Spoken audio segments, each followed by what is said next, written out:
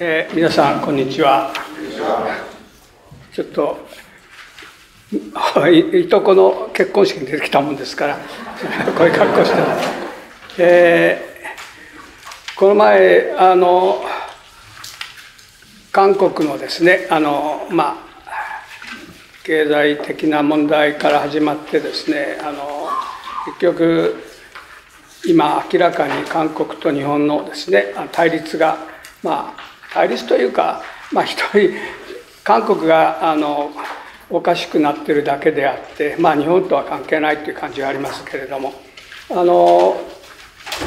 まあ、この問題についてはですねあの歴史の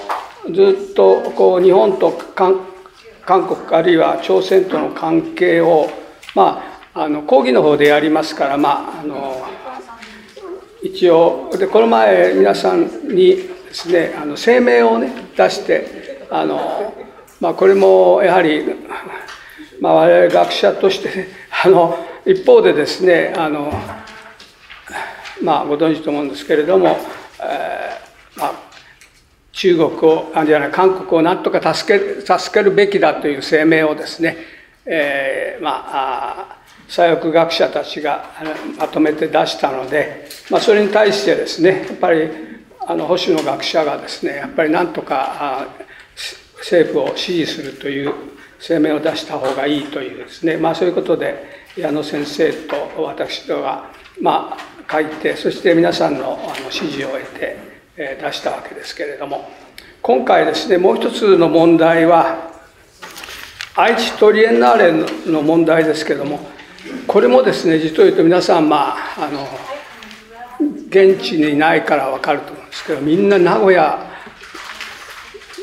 の、まあ、つまり愛知県に対してですねたくさんの左翼陣営の声明が出されてる。でこれはあんまり知られてませんけれどもとにかくですねやはり一方的にあのこれからちょっと我々の我々の方も声明を出すんでですね、まあ、それを読み上げる中でお分かりと思うんですけれどもあの結局河村隆名古屋市長が非常にですね孤立した感じであの、まあ、たくさんのですねあの、まあ、左翼まあ左翼って言っても要するに芸術家ずらしたですね左翼がいっぱいいるんで、まあ、こういうものをですねはっきりと叩く必要があるというふうに思ってるわけですね。でそれで一応我々もですねあの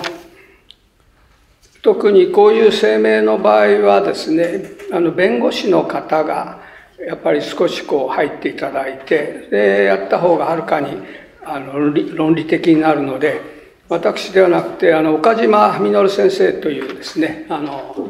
今回14号も残念ながら日本国史学会は今日お渡しできないんですけれども14号にですね書いていただいた。でこのこれもですね日本国史学会がずっと毎あの毎月やってるっていうことで34年前までは左翼だったという方がですねやっぱりこの国史学会を見るにつれてもう転校するということでまあそういう方が非常に多くなってる学者もそうですね。ですからそういう中の一人って言うと失礼ですけれどもあのやはりそういう考え方を変えた弁護士の方がおられてですね是非あの国史学会に協力したいそれからまあ我々がやっている不当な日本批判に対するですねあの学者の会っていうのがありまして、まあ、それに参加するということでちょっと今日もちょっとあの声明を一応皆さんの前で読み上げて、まあ、これを少し多くの方にあの配布しようと思っています。愛知トリエンナーレ2019における芸術の政治利用をに反対すると。多くの日本人が外国の方々をおもてなしの心で迎え入れ、日本人と外国の方々との大切な親睦会を図る、親睦、失礼、親睦を図る国際的芸術祭である。愛知トリエンナーレ2019における展示の一部を主催者である大村秀明愛知県知事と津田大輔芸術監督が独断で中止決定をしたことについて、え公権力の介入などとして、河村隆名古屋市長を名指しで非難する正当性を欠いた主張が一部マスメディアや学者によって提起されている。この問題は表現の自由、政治と芸術といった重要な論点が関わる一方、虚偽あるいは歪曲された情報が国内外に流布されるなどを憂慮すべき状態にあると、など憂慮すべき状態にある。そこで我々はこの問題に関心を持つ専門家の立場から問題の本質を指摘し、再発防止のための議論の進化を求めるため、この声明を発すると。1、1今回の騒動は、特定の政治的意図を持った一部の者によって、芸術が政治的に利用されたことによって弱気されたものである。国民の税金と努力によって支えられ、国際的にも評価される作家たちの参加を得て国内外の人々に感動や希望を与えるはずの芸術祭が一部の者の不当な意図によって傷つけられ損なわれたことにをことは真に憂慮に耐えないに中止された展示会の趣旨説明の文章から当該当当該展示会が特定の視点に立った政治的意図を有するものであることをことが明らかである。慰安婦像や天皇動画など問題され問題とされた作品は、まあ、格好好きですけども、問題の単純化、攻撃性、侮蔑など、強い政治的イメージを担わされている反面、その表現は隣国では、隣国で大量生産された像を模すなど、安直さ、凡庸凡庸であって、見るべき芸術性を書く。そこで単純な二項対立図式や、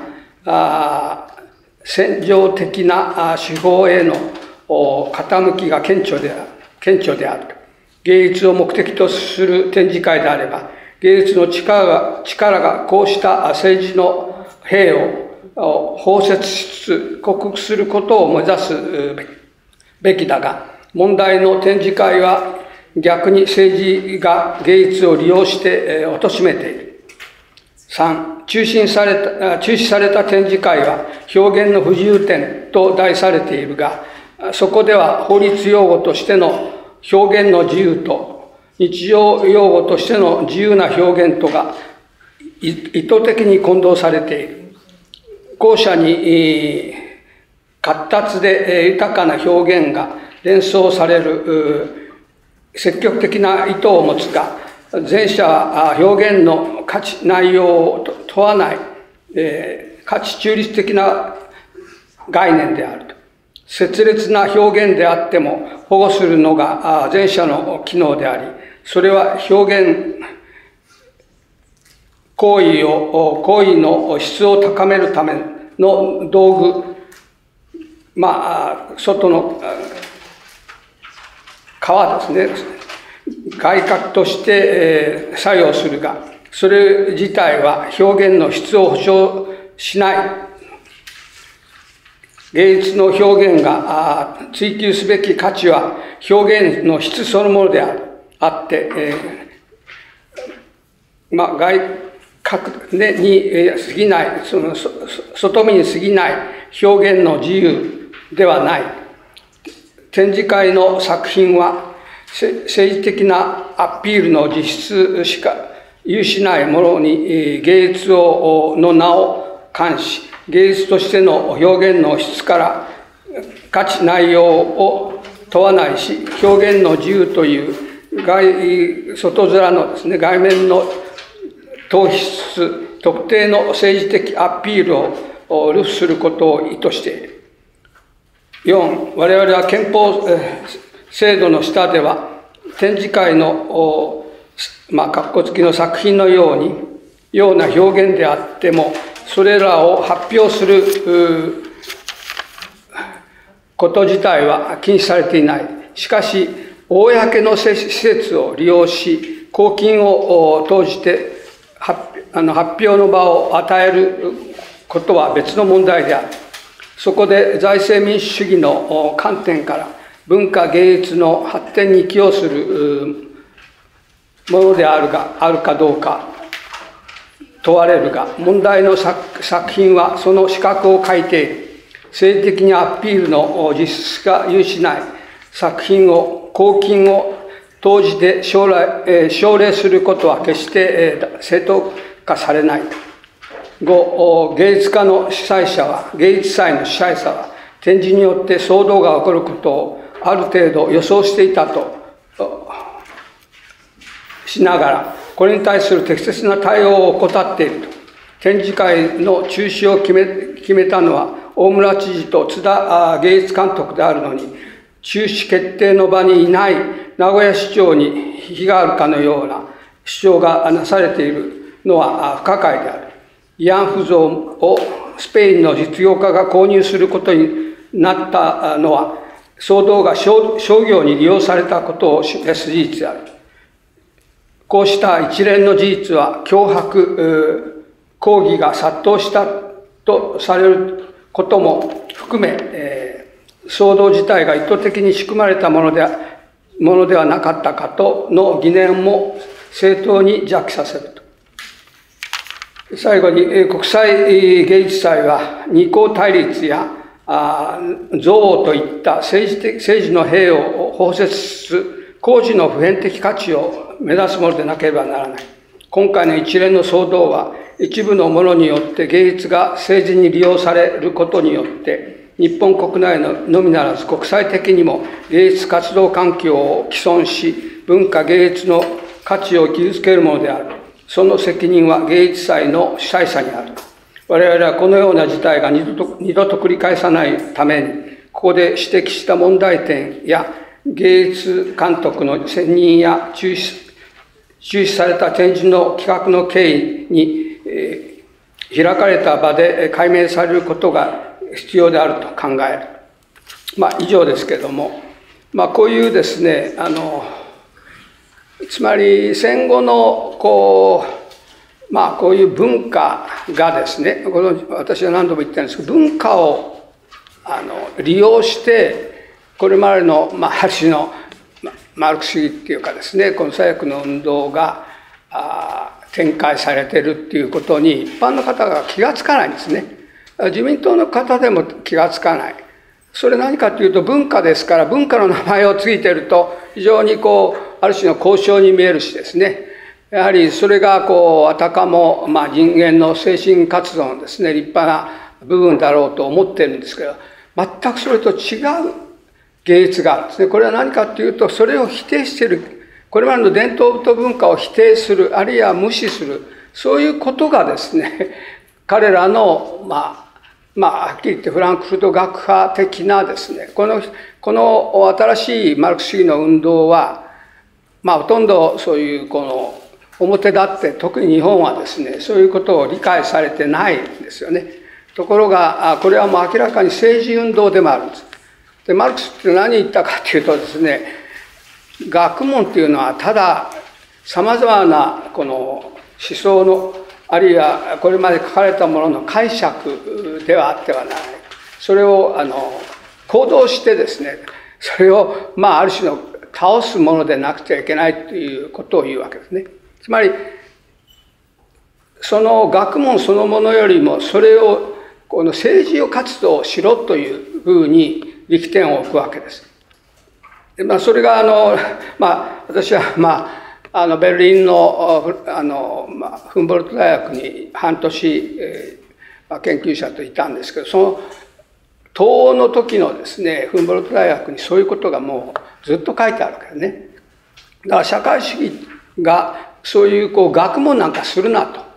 あのそれを持ってそういうことをこう否定しながらそれをこう行動しなくちゃいけない、ね、革命運動しなくちゃいけないというのが大学に書いてあるんですね。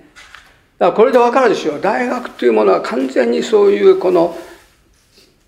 学問をやる機能を失ってるわけですね。でそれが日本ではですね実を言うと1970年ぐらいまでは、あるいは75年ぐらいまでは続いていたんです。これはもう戦前からずっとある学問が続いてるわけね。ところが、それ以後ですね、やっぱりこういう考え方が、フランクフルト学派の考え方が入ってきましてですね。で、ベルリンではベルリン自由大学というのが入ってきて、つまりそっちの方が主になってくるわけね。で、ご存知のように、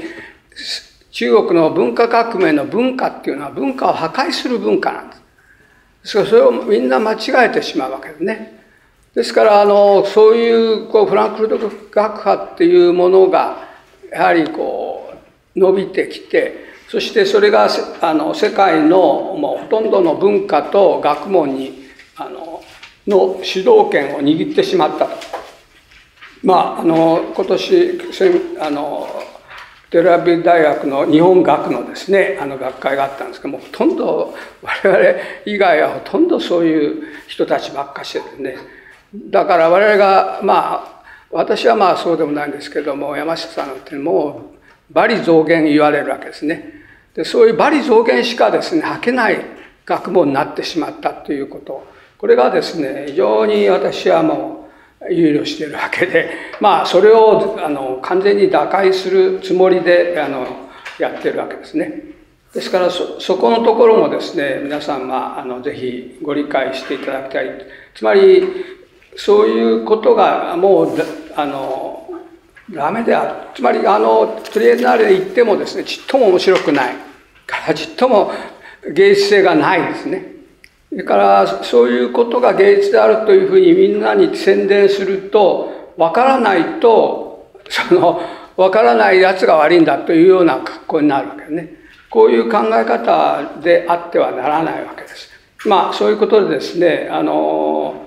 私たちは本質的な芸術つまりこの人間を精神的なですね人間の糧となるそしてそれがですね感動させるもの